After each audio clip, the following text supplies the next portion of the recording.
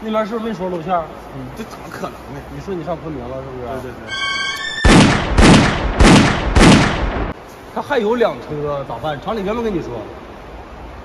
我给你拉不就得了吗？那你咋给我拉呢？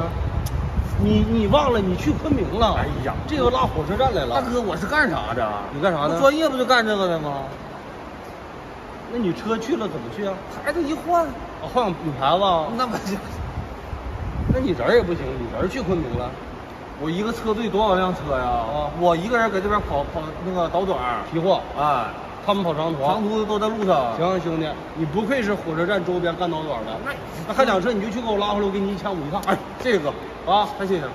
行，啊，完完了，有机会请你吃饭啊。别整露馅就行。你啊放心我们干我们汽车倒铁路的，一趟不差那三二百二百，活干明白就行。你放心，哥啊，好嘞，好嘞。哎，哥们儿你好，你好，我是那个货主。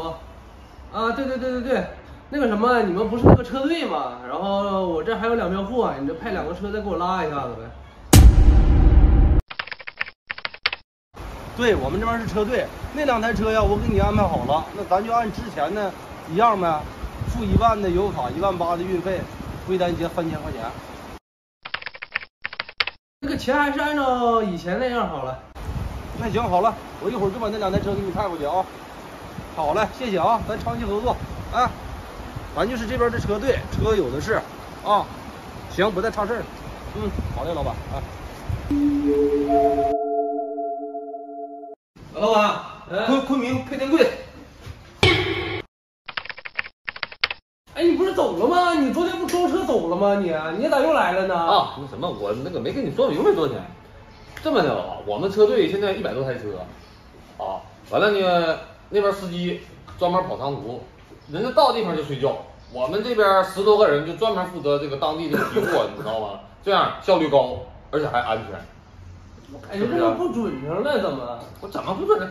一百多台车，我们每天九点准时发车，一次性一次发是三三十几三三十这这三十车，啥三十几？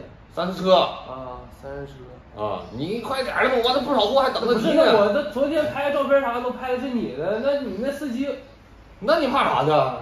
你这样吧，你把他电话号码给我一个吧，我到时候我查查货啥的。啊，那行，回回回回回回回头我发你。这这这，兄弟，老板老板，哎，卡先给你。行，那边都说好啊，了，没事，你放心吧。啊，那明天那车还能拉呀？能啊能啊，明儿我还去去拉去。行吧，那拜托你了行走。钱你留没留下一千五？留下了留下了。留下了啊。来，哥们儿，来，哥们儿，来。啊啊，交完了，把那个钱和油卡给你们，还啊，是老样子啊。好好，你走了。你等会儿，等会儿，等会儿，那个手机号码也没给我呀，前两个司机。我没给你吗？哪给我了呀？你啥时候发我了？哎呀，我这一天货堵太多，我挨个发发发发乱，可能乱了乱了。我我等会儿我就查一查发给你啊。行行，你记得发我。哎，等会儿，老板电话怎么也打不通了？我这一直给他打电话呀。啊，他电话打不通太正常了。我给他打电话有时候打不通，这多忙啊一天呢。这家一百一百多台车，你们这太不准成了，这也。有啥不妈呀？这这台车老板的啊啊五六十万值吧？对不对？你那货多钱那玩意儿啊？行，反正既然用你们，我也相信你。哎哎，得得得合作共赢，那还好这。兄弟，等你这货装了啊，有回来了啊有卡和钱都在里。那个啥呀？啊，那边那小子挺尖的，老跟我要电话呀，要司机电话，你这咋整？你随便给他两个空号打不通的，啊，那我只能糊弄糊弄他了。糊弄糊弄他。